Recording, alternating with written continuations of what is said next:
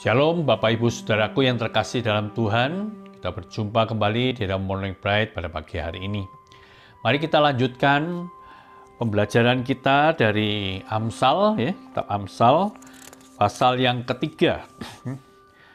Amsal pasal 3 ayat 1 sampai 26. Tapi karena cukup panjang, maka saya akan bagi beberapa bagian. Dan hari ini kita akan membahas ayat 1 sampai ayat 4.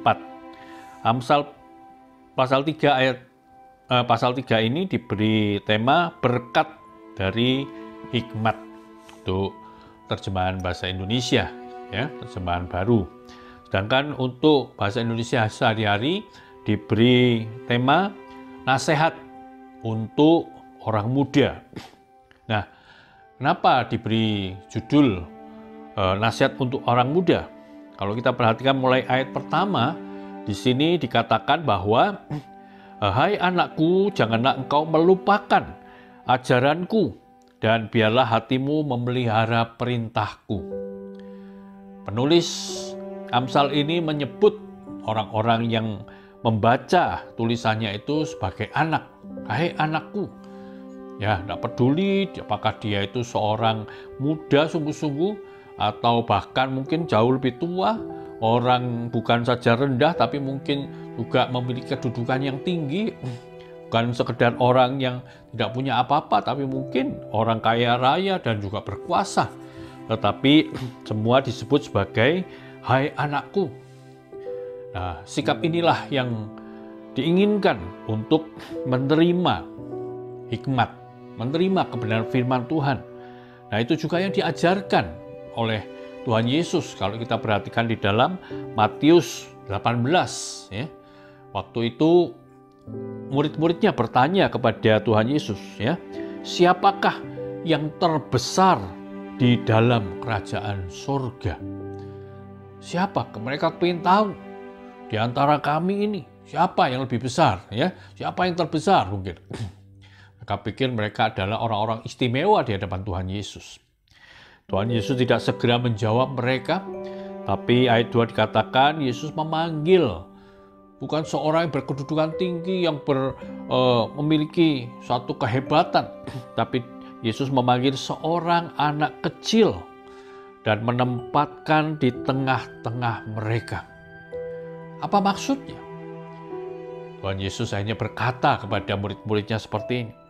Aku berkata kepadamu, sesungguhnya jika kamu tidak bertobat dan menjadi seperti anak kecil ini, kamu tidak akan masuk ke dalam kerajaan surga. Jangan kamu menjadi orang yang terbesar di dalam kerajaan surga. Masuk ke dalam kerajaan surga saja tidak bisa. Kalau kamu tidak mau bertobat dan menjadi seperti anak kecil ini. Baru kemudian ayat keempat, Tuhan Yesus men mau menjawab pertanyaan murid-muridnya.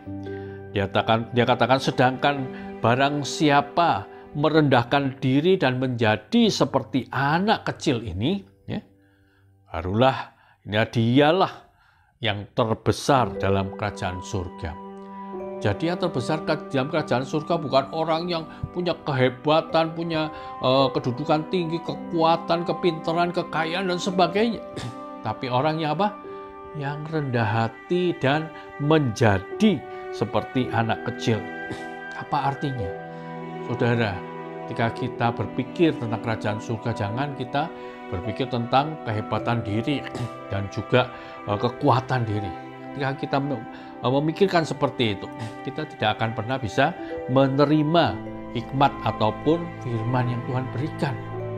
Maka itu kenapa di sini dikatakan ada dua uh, bagian ya, baik yang positif maupun yang negatif.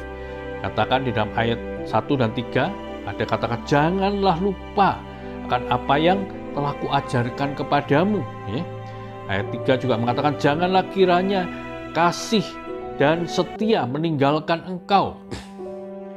Jadi itu merupakan satu peringatan yang Tuhan Allah berikan ya supaya kita apa tidak menyia-nyiakan atau menyingkirkan atau mengesampingkan akan ajaran Tuhan, firman Tuhan, bahkan kasih dalam Tuhan.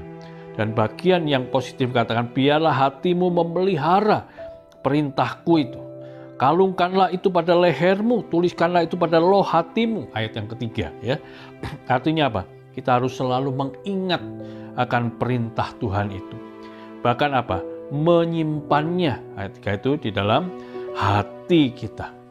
Sehingga itu sungguh-sungguh menghasilkan satu hasil yang luar biasa dalam ayat 2 dan ayat 4 dalam bahasa Indonesia sehari-hari dikatakan supaya panjang umurmu dan sejahtera hidupmu supaya engkau disenangi dan dihargai oleh Allah dan manusia.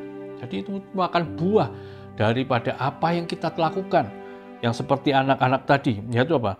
Membuka diri kepada perintah Tuhan dan juga selalu menyimpan firman itu di dalam hati kita. Sehingga hasilnya membuat kita memiliki satu berkat yaitu apa? Lanjut usia dan juga sejahtera dalam kehidupan, bahkan disenangi, dihargai oleh Allah dan manusia. Tuhan menolong dan memberkati kita sehingga kita boleh menjadi orang-orang yang sungguh memuliakan Tuhan di hadapan sesama kita. Amin. Tuhan memberkati kita semuanya. Morning bright let your light be bright in Christ.